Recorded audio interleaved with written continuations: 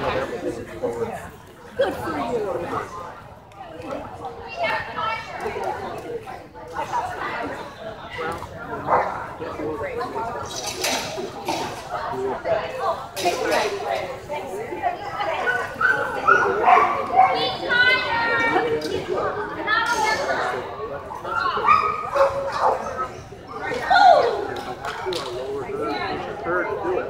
Third.